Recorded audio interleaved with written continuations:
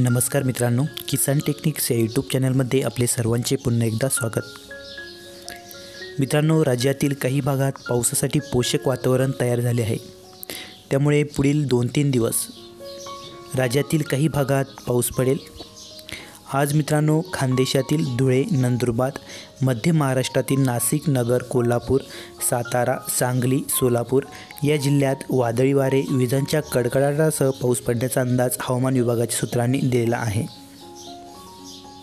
शेतकरी मित्रांनो एक छोटीशी विनंती तुम्ही जर चॅनलला नवीन असाल तर चॅनलला सबस्क्राईब करा सोबतच बेल आयकॉन प्रेस करा व्हिडिओच्या अपडेटसाठी व्हिडिओला लाईक करा आणि आपल्या शेतकरी मित्रांपर्यंत शेअर करू शकता. अरबी समुद्र आणि दक्षिण गुजरात आणि उत्तर महाराष्ट्राची किनारपट्टी. या दरम्यान चक्रकार वाऱ्यास्थिती तयार झाली आहे. त्यामुळे पुढील काही दिवस पाऊस पडण्याची शक्यता आहे.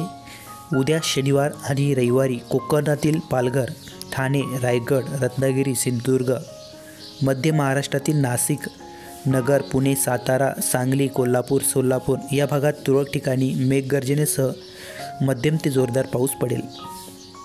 मराठवाडा व विदर्भात काही ठिकाणी काही अंशी ढगाळ वातावरण असून तुरळक ठिकाणी आपल्याला पावसाचा शिडकाव होण्याची शक्यता आहे. तर अनेक भागात कडक ऊन पडून उकाड्यात वाढ होण्याची शक्यता आहे. गेल्या दोन दिवसापासून राज्यात ढगाळ हवामान आहे. त्यामुळे कोकणातील मालवण येथे मध्यम स्वरूपाचा पाऊस पडला आहे.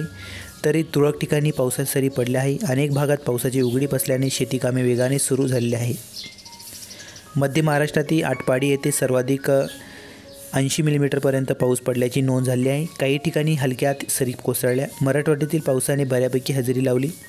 त्यामुळे वेगाने सुरू झालेली शेतीकामे खोळंबली आहेत. माजलगाव मुदखेड सोनपेठ गंगाखेड येथे पावसाच्या जोरदार सरी पडल्या. विदर्भातही पावसाच्या तुरळक सरी बरसल्याने तूर आणि कापूस पिकांना दिलासा मिळालेला आहे.